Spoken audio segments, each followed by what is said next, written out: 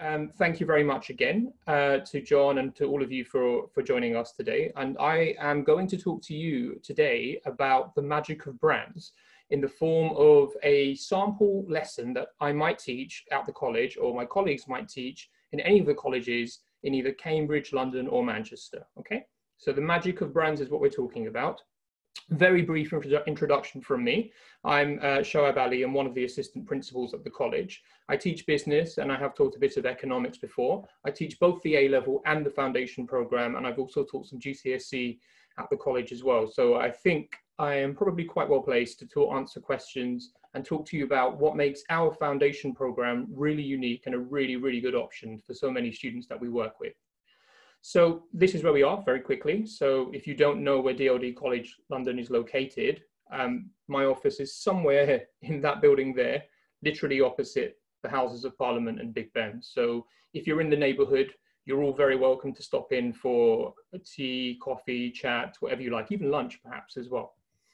So I think before I actually start showing you the kinds of things that we cover within the lesson, I do think it's probably worth just giving you a very brief introduction to what the International Foundation Program is. So we quite often refer to it as the IFP within, within the colleges, but uh, there are a number of different pathways available, okay? So the foundation program at the college centers around key components, and I'll explain those to you a bit later on. And then there are various pathways which we've designed between us to allow students to access universities. So you can see here that they are quite broad and they have grown recently as well. So do find out more about them if you've got any questions specific to some of the pathways. But I think the most common one we have really is the business, well, the most popular I would say at the moment is the business and economics pathway. And I teach on the business units in that particular pathway but also the same business units are applied to, say, for example, we have fashion management here as well. It's also worth you knowing the economics units within this unit, within this pathway, will also apply to mathematics and economics, and also to the financial technology pathway as well. So it's a modular system, much like university, and we pride ourselves on it being designed to prepare students for university level, um, undergraduate level work. However, we do this in a way which is, we believe, characteristically caring, sympathetic, and of course supportive, which is a key, which are key features of all our colleges. So just very brief facts, and we can talk about this in a bit more detail later on if you would like. It's a one-year intensive program, okay? So the foundation program is equivalent to three A levels, recognized by over 90 universities. Increasingly, these are international as well as the UK but more than 90 universities recognize the one-year program as the equivalent of a two-year A-level program, which involves three A-levels. The English requirement is minimum of IELTS 5.0 or equivalent, and there is a dedicated university guidance service provided within the program as well, okay? So that's the general structure. So I want you to understand that I would be teaching this in a lesson with students from around the world. And you know i've had classes of eight with eight different nationalities which from my perspective as a teacher is truly fantastic. But also from the perspective of a learner is also it's just it's there's an education in business and then there's an education of being with seven other people listening to seven other opinions um, and seven other perspectives from different countries. That in itself is also an education as well. So i want you to know that we are super diverse in terms of nationalities, and the program itself is really designed for international students. And to give you an example of this, I don't know how many of you are familiar with Nando's, um, but this is um, a really, really popular restaurant. I don't know, Victoria, if you've ever had the pleasure of visiting Nando's since you've been here. John, I imagine you have, right? Oh, yes. know it well. Now, this is, I mean, I think some of you may be aware of this, particularly if you visited the UK, and I do know that they have restaurants overseas as well in various other countries. But I think this is what we call a household name in the UK. I think every student who's 16, 17 of British origin will be able to tell you all about Nando's. Now, the thing is, that's not true for international, all international students. So if in an A-level exam paper, we have a business case study on Nando's, immediately international students will have to, may, not always, may be disadvantaged. So the way we've designed the International Foundation Program is we will not pick companies which might be unfamiliar to international students. And I think that is a lot fairer in my opinion, but we will pick companies, for instance, such as Apple, Coca-Cola, Samsung, Mercedes, household names that every student of business should really understand. So you can see immediately how we've designed the program to be suitable for international students in preparation for accessing university. So um, if I was teaching branding, okay, one of the things I might start with is asking people to consider the brands that they associate with the UK, okay, because I think Great Britain is is a brand. You know, I think uh, I, it brings me a sense of joy when I visit countries around the world and I see the flag and the Union Jack and various symbols that we have on clothing. So just if you take a moment to ask yourself, which what do you associate with the UK? Think about it. I think there are certain things. You might see that I'm in my living room today and we have what I would describe as atypical British weather today. Okay, the sun is shining and it's very warm here today. So if you think that London is always raining, it's not true. We do have sunshine and the proof is there in my window today. but when you think about the UK, I think some of these things should be popping into your mind. The royal family, you know, red buses, um, you know, uh, beaches which are probably not as good as beaches in your country, if I'm being quite honest with you. okay. So I think other things when I ask this question, I hear things like Harry Potter and I hear the London Eye and Big Ben, all these iconic things which have which have been present in the UK and have been celebrated around the world for many, many years. So my favorite brands that I associate with the UK, of course, are, does anyone know which, which car company this is? Aston Martin. Oh, well done, John. Okay, and John, do you know, indeed it is Aston Martin. This is pretty obvious. I won't ask the question because you can, if you look carefully, you can see there it says Burberry, but one of my favorite brands. Okay, uh, we have Burberry there. And then we have another brand which you may or may not consider um, when you think about British branding, but we have Emilia Clarke, who in many ways is a brand. And I think this is something I wouldn't stop saying to my students actually, that, you know, our, as individuals, we have a sense of personal branding as well. We also have um, Rockstar Games, and this is very popular. You may know this. It's called um, Red Dead Redemption is the game, but Rockstar International is a very large um, and celebrated and famous gaming studio as well. So I think when we're talking about brands, and I'm giving you some of the examples of the brands which I enjoy, I think it's interesting to consider the fact that brands are all around us and they are what we call omnipresent. Okay, they are everywhere. And they, in many ways, in my opinion, they define our society. We, we associate certain brands with certain eras. So I think, you know, if you go back a few decades, Kodak, you may remember Kodak if you're old enough, was a big brand.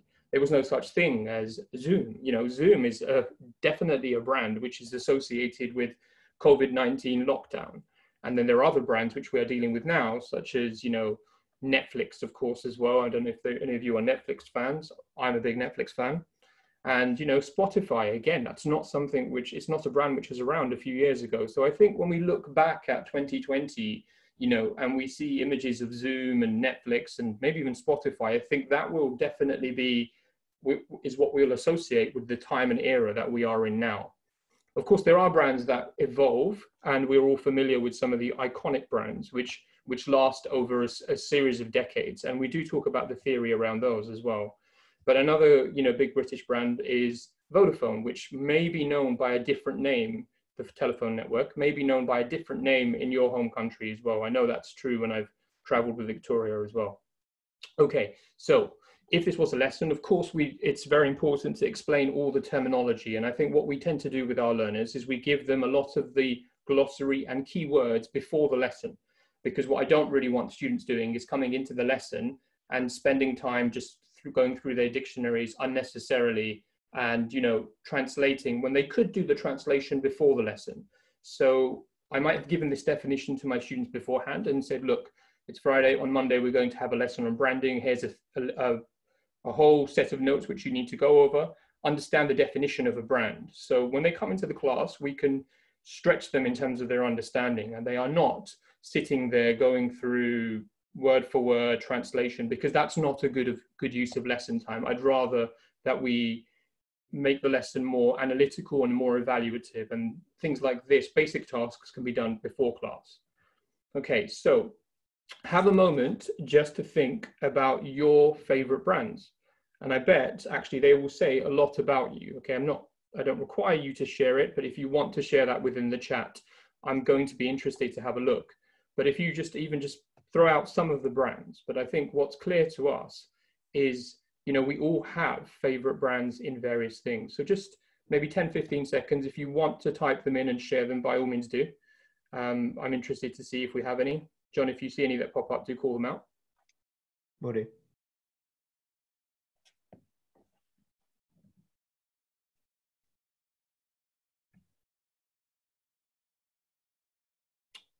So, uh, John, favorite brand from you? A favorite brand, I would say. Oh, I'd have to say Apple. Okay, I think Apple Apple is um is a good one. I think it's a very popular one as well. And I, you know, working with young people, I hear a lot about Apple, and there are some people who are absolutely Apple obsessed. Yeah, I think we've all seen, you know, the queues of people who are queuing outside three or four days before the new iPhone is launched. John, that's not you. You don't queue outside Apple shops, do you? I'm not quite there. No, no. I just have a lot of Apple products. so it was the first thing that came to mind. Uh, we've we've got a few more actually. Um, Vadim has said Apple, but also Burberry and BMW. Uh, Noel has said um, I really like Tesla. Uh, T. Mai has said Mercedes, uh, Chanel, and Hermes. Uh, Marjan, we've got Karl Lagerfeld, Apple again, uh, and Michael Kors. Victoria, Ted Baker, Dr. Martens, and LG. So a lot of fashion and technology brands I'm seeing. I, I don't know whether we, I feel like I'm talking to a room full of my students because these are all very familiar brands that we talk about a lot within my, within my lessons as well. But those are things um, which we, which I'm pleased to hear. I'm pleased to hear Ted Baker as well, of course, because that's a British brand. Actually, not to name drop too much but as well, but I've, I actually know the Ted Baker uh, company really, really well. So uh, that's really interesting. And I think what I was saying about Apple is it's interesting because I know I've, I don't know whether you've had this experience, but have you ever sat in a room and listened to a debate between an Apple user and a Samsung user? It can get quite heated, and people become quite passionate about the brands that they're associated with. So I think it's um, it's really interesting to look at people's brands, and I think like it or not, we make a choice when we purchase a product, and it says something about us. So whatever your favorite perfume is, whatever your favorite aftershave is, says something about you okay, your choice in breakfast this morning, the cereal that you have, if you have cereal, that is, that says something about you. At the same time, there are other um, products that we will consume. You know, I think I'd like to believe, and I'm sure every single one of us this morning have brushed our teeth, but the likelihood is we've used Colgate, Aquafresh, McLean, Sensodyne, or another large brand within your company. That's in your country, sorry. That's not an accident, okay? That's because Aquafresh, McLean, and Colgate are actually owned by the same parent company. So we have the illusion of choice, but within there, there are decisions we have to make. Are we interested in white teeth? Are we interested in, you know, deep cleaning? Are we interested in fresh breath? Or are we going for the full package? There are a lot of decisions that, that are made there which say something about our personality and our priorities. So there is a question of why there.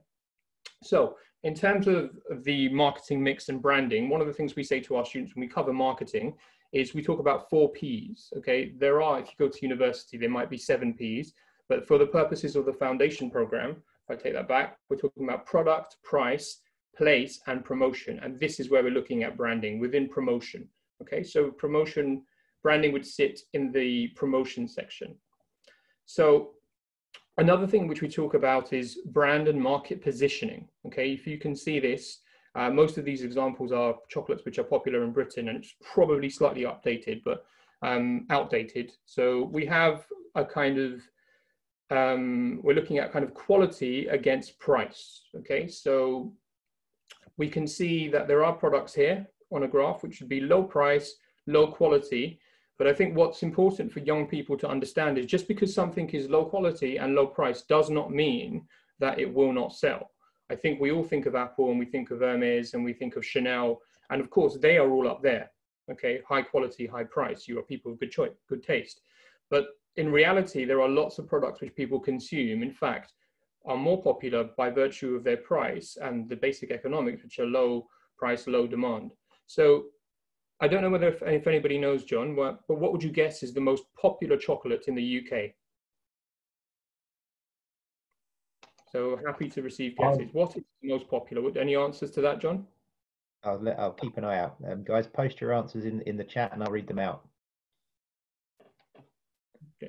Okay. Let's give it 10 seconds to see if anyone's got anything. Otherwise, John, I'm going to go to you. So if you want to save John the embarrassment of, or the, the pressure of getting the right answer, do make a suggestion as to what you think is the most popular chocolate in the UK. Is it the most popular of the ones displayed or the one that I think is the most popular? Let's say, think... slightly tougher because we like a bit of challenge in the Abbey DLD colleges. So let's say um, all chocolates in the UK. I'm going to go for a Cadbury Dairy Milk. Good shout. Not quite right. Snickers as well. Oh, Snickers. It's not Snickers, but that I'm sure it ranks very high. How about a Mars bar? Nope. okay, I'll give you a clue. It is actually displayed there, John. I'm going to go ooh, Kit Kat. It is indeed Kit Kat. Okay, so Kit Kat, well done, John. Third time lucky, is the most popular, or was it fourth? Is the most popular chocolate in the UK. And you can see here, the price is fairly low on a Kit Kat. The quality is not the highest. Okay, so in terms of market positioning and brand positioning, I think it's really important for people to understand just because Hermes and Chanel have high quality and high price doesn't mean to say that they necessarily make the highest revenue. And I think that's a lesson which we, not a lesson, but that's a, a message which we communicate to our students as well. Okay, so um, some of the brands here have already been mentioned by as favorite brands, but I'm not going to make you map this, but in a lesson, we might actually try this. We might put the map out and we might list these brands and say, well, okay, let's map these in terms of quality and price. Okay, so just, if we look here, we can see obviously we have Chanel very high. I think uh, Bottega Veneta is very high. Stefano Ricci. There's not much here, but the obvious one I think would be Zara. Would probably be good company Zara. I like a bit of Zara, but it's probably lower in terms of um, quality, well, definitely in terms of price. And then we'd also talk about parent branding. And if you can see here, we have brand omni brands. Okay, so I talked about cereal and Choice and Kellogg's, and you can see there's a whole bunch of cereals there under the Kellogg's brand.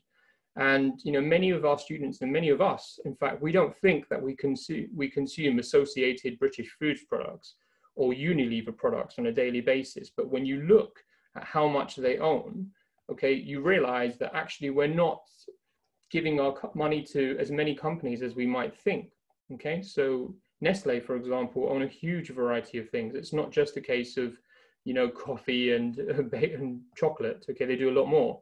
Coca-Cola own a vast variety of drinks as well, which I think most of us are probably a bit more familiar with as well. So I think there's a really interesting um, message here in terms of when you look at actually who owns the, the brand that you like. You know, if you think about famous fashion brands, many of them are actually just owned by one uh, large French fashion house. So what I'm going to do is give you um, a, a rundown of some of the most expensive logos created. Okay, so I think we all know what a logo is. If you don't, you can see the Alpha Plus logo there, and there's um, various logos. But the logo um, is something which we associate with a brand, and it's something which companies take extremely seriously. They invest a lot of money in, they spend a whole load of time, and I think it says a lot about the company as well. So I'm going to give you a very quick rundown of the most logo, most expensive logos created. Okay, so the first one is the Melbourne City Council logo. $625,000. I've gone for dollars rather than pounds, but $625,000 for this logo. John, marks out of 10 for this one. What would you give it? I would give it about five. Yeah, I think John's being a bit harsh. I quite like it, but fair enough. It's a subjective question. Uh, I probably wouldn't give it $625,000, but uh, yeah, if you give this five, I'd be interested to see what you give to some of the others. Okay, so equivalent to this is the London Olympics logo. So 2012, $625,000 for this. Marks out of 10, John? Ooh, there was a lot of controversy around this at the time. I remember the amount of money spent. I'm going to say, I'm going to say probably, well, give it a bit more, six. Oh, you and I have different opinions, John. I, I hate it. Uh, even though I'm a Londoner, I'd, I'd give this, for me, I was part of the controversy. I give this one or two, but it's again, it's interesting to see how people's opinions on logos differ. Okay, but six hundred and twenty-five thousand dollars for this uh, Olympics logo. I think this zero here is supposed to be reminiscent of the shape of London, but yeah, okay. Pepsi, one million dollars. Okay, for a new logo which they came out of came out with, and we talked about how in the beginning there are brands which we associated with a particular era, but then there are brands which have stood the test of time, and I think Pepsi is one of those. So $1 million, you should have seen this before. There we are, $1 million for this. Okay, um, I'll lead you to, to uh, have your own assessment of whether or not you'd want to pay $1 million for this, but what do we give this one, John? Oh, it, it, doesn't look very different from, from the old one as I remember it. Um, I, I would say probably oof, that's got to be a, a, four or a three, I think. right, yeah, it's. Uh, I I probably agree with you there. Four or three for me. Um, it's not offensive, is it? It's not bad logo, but you just think for a million dollars, you probably want a bit more. But hey, the BBC, one point eight million dollars. Okay, here we go. I'll let you. Uh, I'm not even going to comment on this one really, but I have, to, I have to say I don't like it. So, John, this one. Yeah, it's a ubiquitous logo in the UK, isn't it? So it's very well known. But in, in, in terms of when you look at it against the spend, um, you've got to say, I get a three. Yeah. Okay. John's not very impressed, easily impressed, is he, with these logos? But yeah, I agree with you. I'd probably maybe even say slightly lower, maybe a two. But yeah, you're right. I think it's something which we're all very familiar with. Um, and yeah, I, I, suppose even you guys, the reach of the BBC goes around the world. Okay, this is an interesting one. The Australian and New Zealand banking group. So we've gone from kind of 1.8 million and we've jumped all the way up to 15 million dollars for the Australian and New Zealand banking group. So 15 million dollars was spent on the design and production of this logo, ANZ it's not one I'm familiar with. I have to say. I mean, if if I I know that I'm not from Australia New Zealand, but it's interesting because this is not a company as large as well as well recognized as Pepsi. What do we think, John? I, I am familiar with, with, with this group because I have spent some time in Australia, um, and I I would against the price though I wouldn't I wouldn't give it a great rating. I would say probably a six from me. Okay, six from there. Okay, so we're going down to three now. So the money's getting a little bit larger now. Now, this is the Norwegian Postal Service. Okay, so you wouldn't expect the Norwegian Postal Service to be spending $55 million on this logo. So $55 million for this. I mean, it, I like it, but $55 million? Why? John? Comments? I, I, I also like it, but against the price. But judging it as as a logo, I would say probably a seven from me. Okay, I mean, I'm with you. I think if um, yeah, yeah, seven, relatively speaking, but yeah, fifty-five million dollars. Now, Accenture, which is um, which is a, a consulting firm, and certainly if you arrive in Heathrow Airport, I think you'll see the Accenture posters very, very quickly because they take a lot of space up in the airport. So I think you whether or not you're familiar with this company, I'd be very surprised if you haven't seen this somewhere at an airport. But this is their logo for 100 million dollars. I mean, I think I could probably make this on Microsoft Word. John? Yeah, it's it's very blur, isn't it? It's uh, I, I there's a lot going on there as well, really, in, in, in a quite uninspiring design. Um, and, um, I would say probably four. It's very critical, uh, John. Okay, so if you're ready to see the most expensive logo created in history, uh, does anyone know? Doesn't seem so. Okay, so I will tell you it belongs to. Yes. No, nope, it's not Coca Cola. It's actually BP. Because if you think about the Coca Cola logo, it hasn't changed in a long time. Yes, they've probably adjusted it slightly, but in the whole, the Coca Cola logo stays fairly constant. But yes, BP, $210 million. And if you are not familiar with it, this is what it looks like. Which again, I think is uh, it's nice, but for $210 million, John? I like the logo but it's a ridiculous amount of money. I would say probably a seven again from me. right. So I think it's really interesting because this the new logo kind of coincided with um, some negative spin around, you know, um, an, an, oil spillage and a disaster for BP. So I think what they must have done is got together and thought, right, you know, we, we're recovering from some bad press. Um, obviously, we need to rebrand. And I think when you look at this logo, you think of the green, you look at the, it almost looks a bit like a flower. It evokes feelings of nature, it evokes feelings of the environment, renewable sources. So I think that's probably what um, has justified them giving this such a large budget. But yeah, $210 million for this uh, element of branding. Um, you know, I think if, if I asked my students to create a logo and somebody came with this, I'd be very impressed and I'd probably give them high marks for, for creating this logo. If they then said to me, I'd sell it to you for $210 million, I'd say no.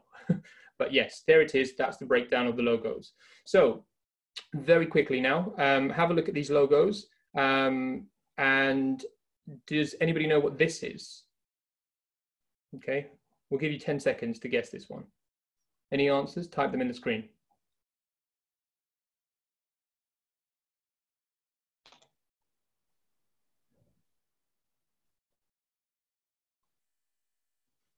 Any, do we have any, John? Uh, we haven't have any, had any answers. It's familiar to me, but I must admit I don't, I can't place it. Yeah, it is quite tricky. It's one which you're all very familiar with, but when you look at it on its own without the writing, it isn't. But that's actually the Marriott. Uh, okay. Yes. That's the feature of the Marriott. So Pepsi, we all know. Um, John, what's this? Nike or Nike? okay, I was, I was interested to find out whether you'd say Nike or Nike. Growing up, I always called it Nike, um, but my brother actually worked for the company, and they would be in serious trouble if they called it Nike. I, for your information, it is actually Nike. Uh, which what's this one, guys? Windows. We have uh, we have Windows. We have Victoria. Okay, Windows. Indeed, it is Windows and or and or Microsoft. Uh, we all know this. Apple. This one Anyone? Haven't had any, any any submissions. I will venture the Premier League. Indeed, well done. It is the Premier League. Shell, Audi, and uh, of course the most important of these companies is DLD College. Victoria, this one. YouTube. YouTube, well done. And then we've got Chanel, which we've had a mention of, and actually LG as well, um, which somebody mentioned as their favorite brand as well. So I'm glad that we uh, had that there as well. Um, I actually I bought an LG TV about a month ago, which I think was a fantastic decision. No, two months ago, just before lockdown, and I think it was a fantastic decision because I'm getting so much use out use out of it now that I'm in lockdown. But yeah, LG, um, really big brand. They actually produce a lot of things for other companies as well, but don't actually put, always put their label on it. Now, uh, one of the things I would ask my students, but because you guys are acting as my students today, is there were three words added to shampoo bottles in the 1970s, I believe it was, which doubled the sales of shampoo. Okay, just three words that were added to the bottle. Can you guess what the three words were? Or can you do you know what the three words were, which doubled the sales just by adding these three words?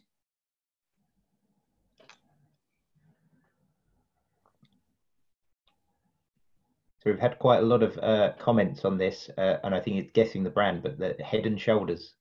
Mm, it is a Head and Shoulders bottle. That's also um, kind of partial credit for knowing the brand, but that's not the three words uh, that were added to the bottle that were that allowed the sales to double. Okay, so this is an example of Head and Shoulders. Is it Wash and Go?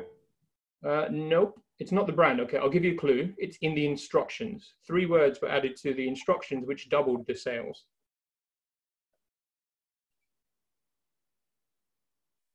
Victoria's quiet. I think she's one of those students who knows the answer, but she just wants to give other people a I'm Googling. Stop Googling. okay, I will tell you the answer because I can two, tell two you. Two in one has been uh, been submitted. Ooh, that's a good, that's a really good um, guess, but that what those are not the actual words because if you think about it, two in one probably cuts down the sale of conditioners, but no, really good guess not quite the answer. I will tell you because I know Victoria's Googling and I don't want her to Google the right answer. The correct answer is rinse and repeat. Okay, because if you rinse and repeat, you're using twice the amount of product and therefore you're doubling the use of you need to buy it far more often. Okay, so rinse and repeat. Whoever came up with that in the instructions was genius. Okay, okay. So I'm going to do a very quick um, activity with you, and something I would do with the class. It's actually what we call market segmentation. So I will show you a particular product, and we will have a discussion around who the target market is. And I think one of the reasons I do this is because I am a real firm believer, though, with that all my students, when they join the foundation program in business, even if they've never studied business before, which they don't have to, so you can join the foundation program having never studied business before. I think in many ways they are already experts. I think all of us are experts in business, but what we don't know is terms, theory, and labeling. So we can have a good go at this. We might not understand that we're talking about demographic segmentation, and it's my job and the job of my colleagues to teach the correct terminology.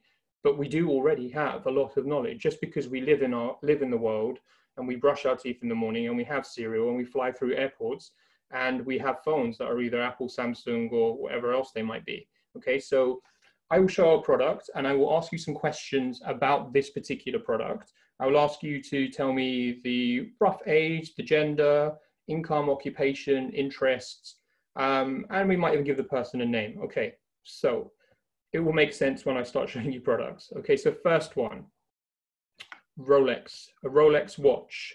Okay, so I do need you to contribute through the type, uh, the chat um, function on this, please. First question, male or female, what do we have? Male was the first one that came through, usually male. male. Yep. Okay. Give me an age bracket, guys. What do we think? A minimum age on the Rolex watch. Not when I say minimum, obviously you can have a 15 year old who has a Rolex, but typically, what is the typical age that someone who might have this, the man might have, uh, a man might have this watch? Yeah, minimum age 25. Yeah, 25 I, would say, I would say late 30s or 30. Yeah, I think so. I think late 30s or maybe even 40s. I don't really think there's an upper age on this because I think when people buy the watch, they tend to keep it for a long time. Um, John's got about seven of these. Okay, so um, let's give the, um, any any suggestions for names. Victoria, well, I think we've we've talked about this before. What's the name of this uh, man in his 40s who owns the Rolex watch? This part, it is always interesting. We've got George. Yeah, you know, it's funny enough, George pops up a lot. It's often George. And what's George's occupation? What's his job?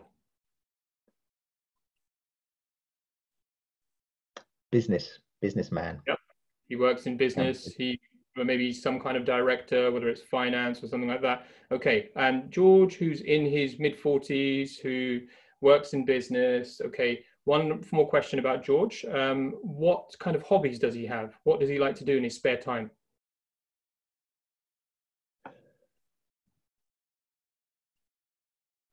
this is exactly what I'd say. He plays golf from Noel. Okay, so hold that thought. All right. So I, I quite like to, when I do my teaching, I like to find an activity which works for students. And um, you know, I've, a, I've worked in a number of schools now, and I think I've worked with students who have, many students who go on to get top grades, A star, get into some fantastic, fantastic universities. So I, I do this activity with all my students when I teach segmentation, when I talk about branding. And I probably, I've, I've definitely been asking this question for over 10 years, okay? And I've been um, asking this question in different places around the world. And every single time, without fail, when I show this product and I do this um, exercise, about half the time George comes up, 100% of the time golf comes up. Okay. So I knew somebody would say golf, and it's not an accident that somebody has said golf because we associate Rolex with golf. Okay. You may not have ever thought that before, but you may or may not know that Rolex actually sponsor golf. Okay. So, yes, George in his 40s, um, working in business, working in finance, maybe, you know, plays golf okay, high income. And it's not an accident that we think that because, as I say, Rolex is strongly associated with golf. So thank you for that. You made my PowerPoint presentation work. Noel, Noel also mentioned they sponsor tennis as well, which kind of fits yeah, in with, with they do. I can think of uh, Yes, definitely. Noel's correct. When I was looking at the pictures for this, I typed in Rolex sponsorship and I could see Roger, Roger Federer as well with pictures of golf. So she's quite right. And I think she and others will understand the reason they do this is because golf and tennis are typically associated with higher income um, audiences. And that's really what Rolex are aiming for, which we all know. So Appletiser, I'm not sure whether you are familiar with this, but um, I did actually have a conversation with the marketing director of Coca-Cola about this a few years ago. So even if you're not familiar with the actual product, because I know it's not available everywhere, um, male or female?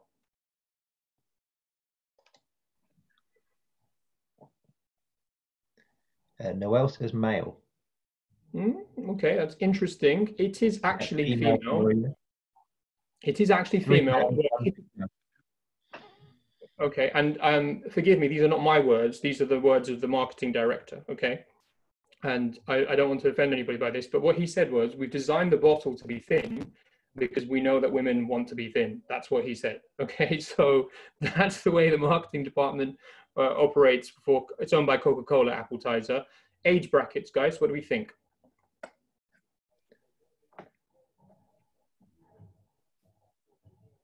We've had it uh, 15 was the first one that came through, and then we've got 30 plus. Maybe 50, I would say, I'd actually say between those ages, 15 to 30. It's difficult if you're not so familiar with the product, but I'd say probably about 15 to 30. Um, what's her name? 25. That's good. That's that within the bracket. What's her name and what's her occupation? What's her job? What do we think? Give me a name and an occupation. Nicole. Okay, and what does Nicole do? What's Nicole's job, John? A manager. Ah, she's a manager. Okay, so yeah. sometimes it's funny when my, students sometimes get a bit carried away and a bit too creative with this, and they tell me that actually, you know, Nicole works for George and she's a secretary, and it becomes a, a whole scandal. That's what she does. What do we think Nicole's income is? High, medium, or low? medium, medium, two mediums, three mediums, yeah. four mediums. okay, we'll go with medium. It's a difficult one, but I would say medium. Okay, let's move on. FIFA 20, which is a, a, a game available on, on various consoles. I, when I say it like that, I feel like I'm advertising it, but I can assure you I have nothing to do with this. okay, male or female? We have uh, two, three males, four males, five males, six males. Yep, yep. Age range? uh, 15, 30, 20, over 12? Yeah, I would say over 12 to maximum age. Well, typically top end age, I would say kind of late 30s, uh, possibly. Mm. I think maybe a bit older because I think what's happening is games are increasingly growing up. I think, you know, if you go back 10, 15 years ago, games were typically, there wasn't really not much in the way of a game which was designed for adults. But as that generation is growing older, games are also becoming more mature, as we saw with Red Dead Redemption and Rockstar as well. John, did you were you going to say something there?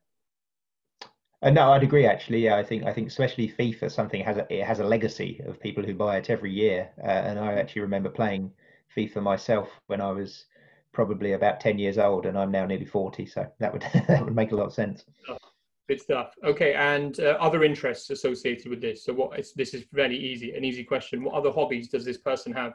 Does this boy have or young man have? football obviously was the first one that came through. We have a couple yeah. of footballs.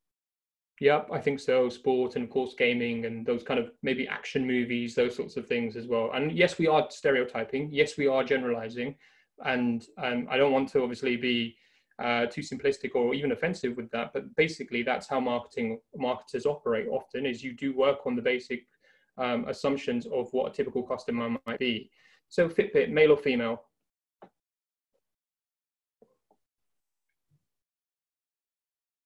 Or both? Male, both. that came through.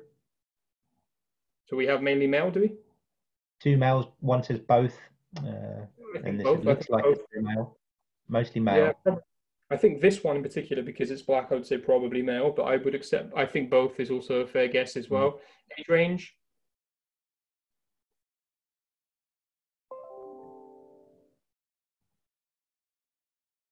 Twenty to forty, over eighteen.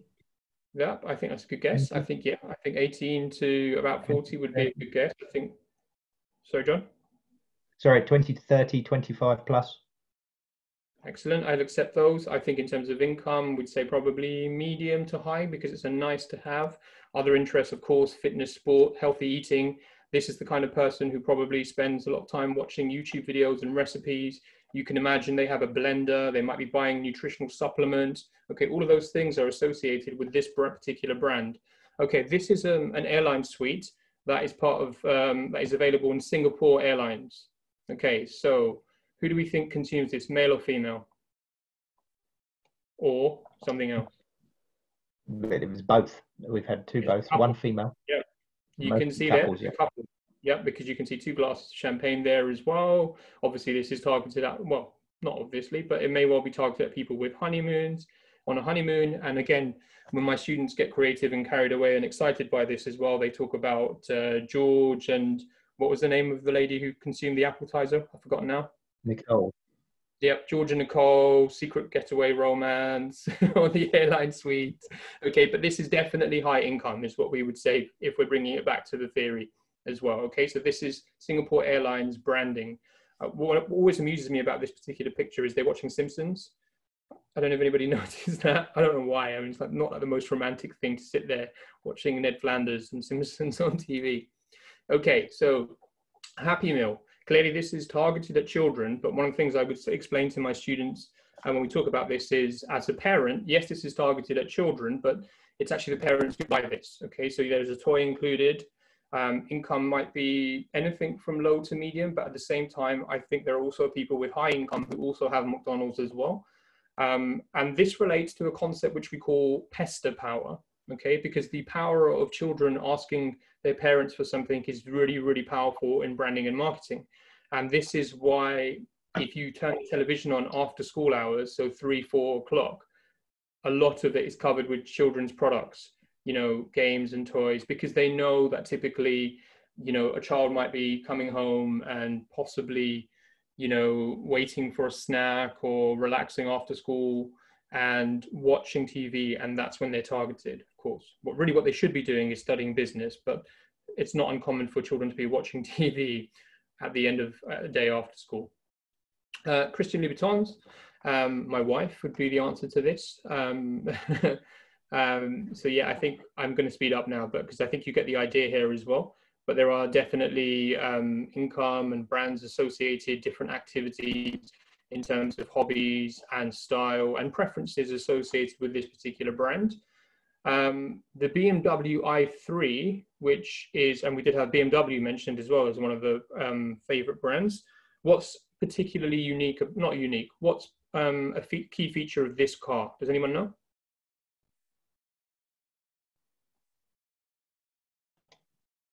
Electric.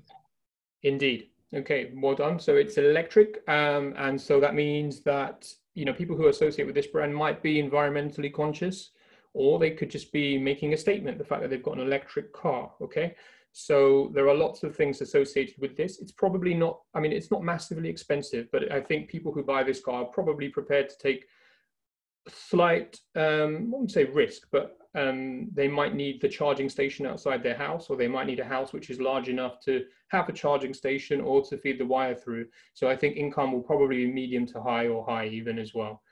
Okay, so that's enough of that exercise, but I just really wanted to point out that um, this is a, supermarket which isn't actually, which is in the UK, um, but if you think about the supermarket in your home country, um, it's quite common to find, say, the fruit and vegetables in the first aisle. Not everywhere in the world, but I think it, when you go to most supermarkets, you tend to have fruit and vegetable. And what I want you to think about is two things in relation to this. One is that supermarkets very rarely, if or in fact, supermarkets often do not have windows in there. Can anybody tell me why supermarkets usually do not have windows? Okay, uh, and a similar question, but a question with the same answer is supermarkets do not have clocks and they do not have windows. So if you could uh, just share your answers in the chat function, I'd be really interested to know if anybody can give me the right answer as to why supermarkets do not have windows or clocks. The uh, the, uh, the, the the first two question uh, answers that came through uh, are not to distract you from spending money. Exactly, exactly. Great answers, very well expressed. Okay, because they the supermarkets want you to be spending as much time in there as possible. And there is a lot of sophisticated studies that go into psychological studies that go into the best layout of the supermarket. So when I think of my the supermarket that I go to in the UK, and ask yourself if this applies to you as well, Victoria. Think about this. Where is the milk located in the supermarket? Is it near the front or is it near the back? I think what you will find is typically the milk is located in the back in the corner. And the reason for that is because I'll be on my way home. My wife will phone me up and say, look, we need some milk. Okay, I'll, I'll fine. I'll go into a supermarket with the intention of buying milk. And I think you know where I'm going. I'll pick up a basket. I'll walk through. But as I walk through the supermarket, I'll be picking up all kinds of things on the way, thinking, oh, look, special offer. I need some of those, etc., etc. Um, and that I think is is not an accident. Okay, that's been designed in that way.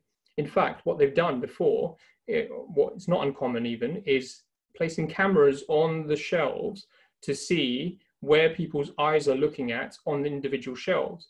And that's where key brands are placed. So they actually people supermarkets will actually monitor exactly where people are looking within a supermarket and the typical route they will take, and they will place products there accordingly. What is also not uncommon is you might take a really well-established brand, let's say for example Heinz tomato ketchup, place that on the shelf, and then take the supermarket's own brand and place it right next to the tomato ketchup and put the prices fairly close to each other. So as customers are reaching for what they know, the Heinz tomato ketchup, they might hesitate and think, well, actually, that's a lot cheaper, or I might go for that. So what I would be emphasizing to my students here is none of this is an accident. None of this is just because they're copying each other on their, on their own. There is kind of data, business, and scientific um, studies behind how people operate within supermarkets. And it's no accident that they make so much money. Okay, so um, on this particular graphic, I would have talked about globalization to my students. And I think if what we're looking at here is in 1500, the fastest speed in the world was horse-drawn carriages. And then in the 1850s, we had steam locomotives, steamships. 50s, we had propeller aircraft. And then in the 60s, we had jet passenger. So essentially what happens is the world is getting smaller and smaller. And I think we talked about Apple and Samsung. And if I said to you 100 or 300 years ago that I can show you in seconds or we can have a meeting with you know 30 40 people from around the world and they can all hear me in london you would think i was a magician and you would probably burn me at the stake because you think this is some kind of black magic what we're doing now but the world is a lot smaller now and i think that's what fuels brands and to kind of get towards the end of this now um, i just really want to point out what a trillion the difference between a trillion and a million is and i think if we look here this is what a 50 pound note looks like on its own. And if you stack them together and have 10,000 to a million, that's what a pile of 1 million pounds in 50 pound notes looks like. Okay. And when we look at um, 100 million, that's what 100 million would look like. Okay. In piles of 50 pound notes. And then we move to a billion there. So if we have the first 50 pound note, sorry, there, that's a million that's what um, 100 million looks like. And then we get to a billion there as well in terms of notes. But when we get to a trillion, this is what a trillion dollars looks like. Okay. So there's 100 million and 100 million right there in the corner. So each of those is just 200 million, but that's what a trillion looks like. Okay. And I think it's easy for students not to appreciate what we are talking about in terms of a trillion. Now, there are two companies in history that have reached a trillion dollars in revenue. Do we know who they are? Okay, two companies that have got to over a trillion dollars in revenue. Who are they? So we've had a we've got a few coming through. One was um, Apple, Amazon, BP, oh. Samsung. Okay, well, actually, the first two were the correct ones. Okay, so whoever said Apple and Amazon, well done to you. Um, they are Apple and Amazon. And I think the interesting thing is, I think uh, Apple took about 22, 24 years to do it, but Amazon have done Amazon have done it a lot quicker. Okay, so yes, trillion dollars. I mean, that's what we're talking about. That's pounds, of course, but that gives you an idea of how large these companies are. And in my opinion, I think when we're talking about people like Jeff Bezos, we are talking about the equivalent of Alexander the Great and Genghis Khan or Genghis Khan because they are building empires. Okay, so um, just to kind of final exercise today is Coca-Cola It's been mentioned before as well, and that is the logo, of course. Now, this is the kind of typical cup that we have here in the cinema or where you might watch movies or films. Okay, so you know that um, when you go and you get this large cup of Coca-Cola, you if you don't get Diet Coke or you don't get one of the other ones, there is some sugar in here. Um, and my question for you is how many packets, so how many sachets of sugar do you think go into this cup? Okay, so the question is, when you go to the cinema and you buy a large cup of Coca-Cola, how many packets of sugar go into this cup? Okay, I'm going to give you one minute to think about it. And whilst I give you the minute, I'm going to play um, what is a classically branded Coca-Cola jingle for you. So in one minute's time, I would like you all to have submitted your answers, please, in the chats in the chat as well. So off you go, one minute.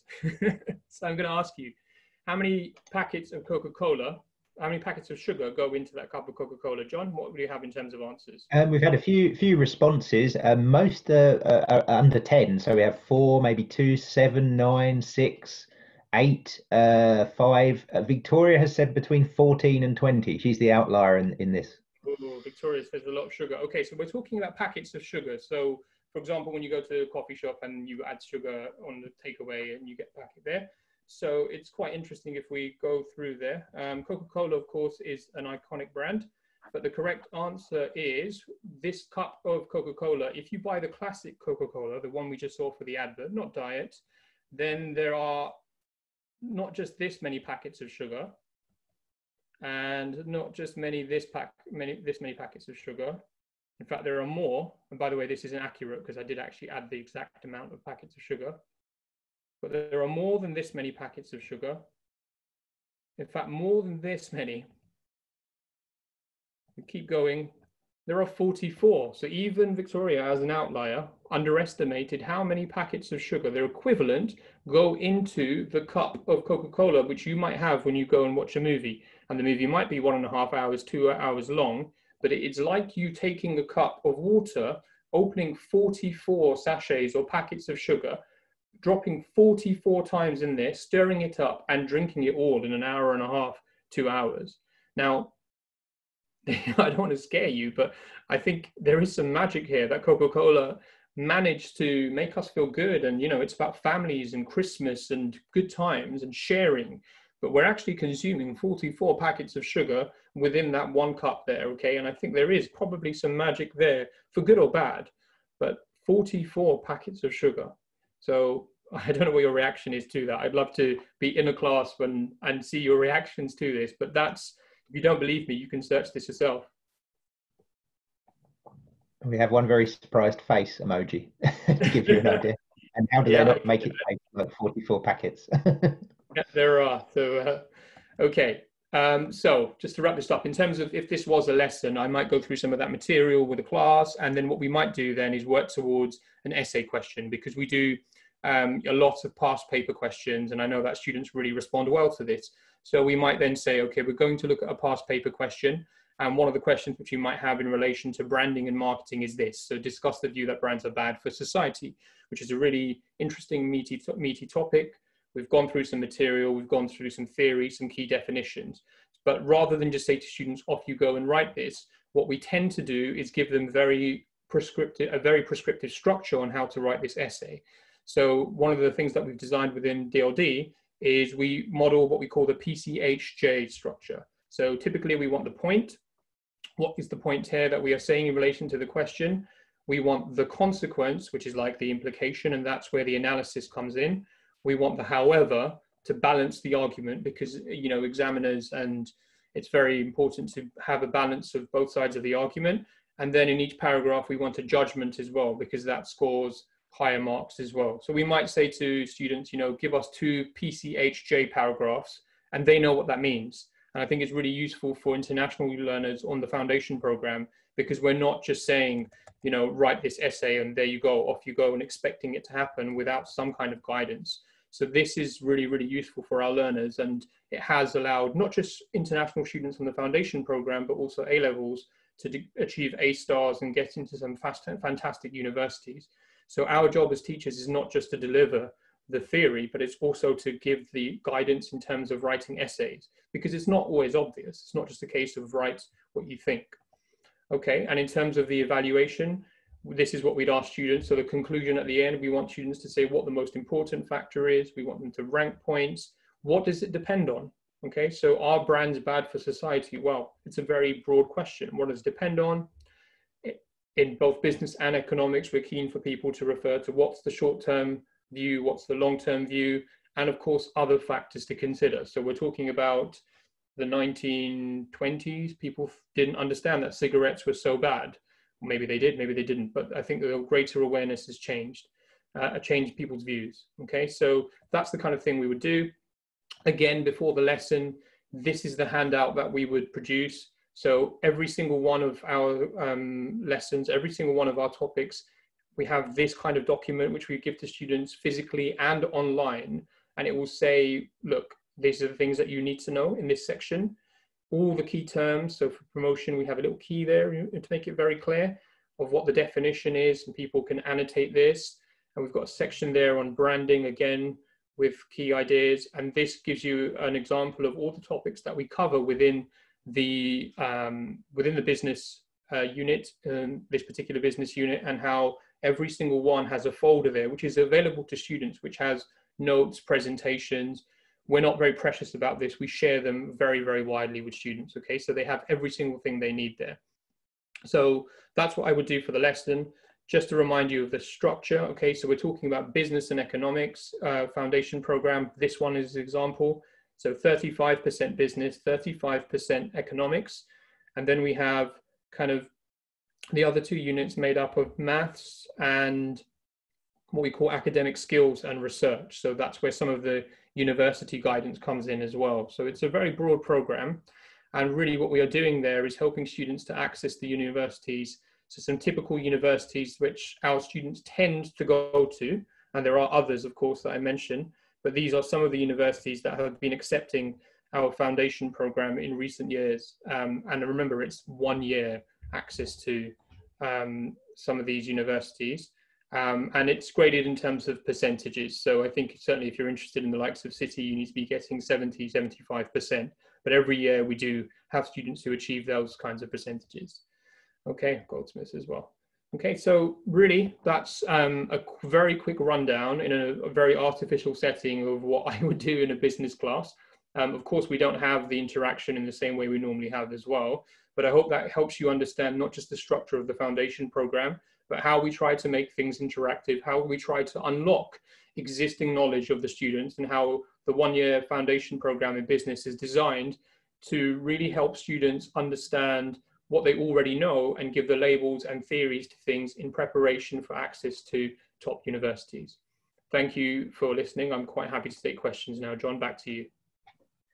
Thanks, Shoaib, um, and thank you for for a fantastic lesson. Um, I hope everyone enjoyed it as much as I did. I think, thought it was a great um, interactive session and uh, really had a good time. Um, guys, if you have any questions, um, and thank you, Aruna, for saying thank you. If you have any questions for Shoaib, please do do post them in the chat or the Q and A, um, and I will put them to him.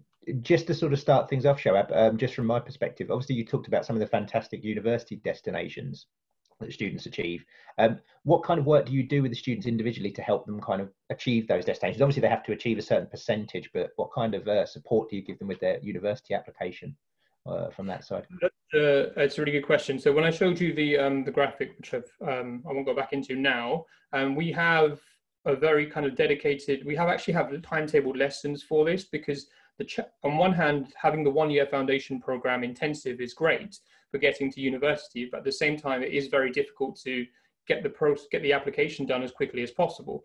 So what we tend to do is we have this unit called personal development, which happens, which is quite intense in the first term. So we start off by kind of giving students a questionnaire, asking them to identify their interests. We have a university fair, which, which we bring, I think, 30, 40, even more universities into the school, into the college, and they get a chance, students get a chance to meet the likes of Imperial, UCL, Queen Mary, etc., etc., and speak to them directly. Um, we talk about um, the personal statement in great depth. Okay, so we encourage students to write drafts of their personal statement, and we look at right, actually, this is where you could improve the English here's a book which you probably need to read and refer to. We link it to existing theory.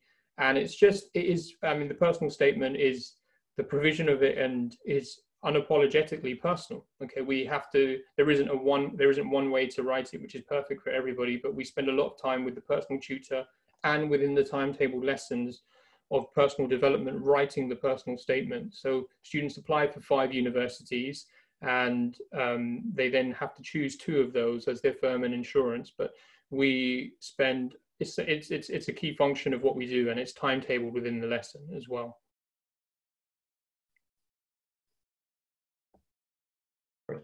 I just have my, my microphone muted. Thanks, um, Shoaib. Um, if anyone has any questions, I, I, I, basically everyone's saying thank you very much, and it was a fantastic lesson. So, so I think everyone's very happy and happy with the participative uh, side of things. Um, guys, what we'll do is please do post any questions here while I'm summing up, and um, and I'll put those to Shoaib.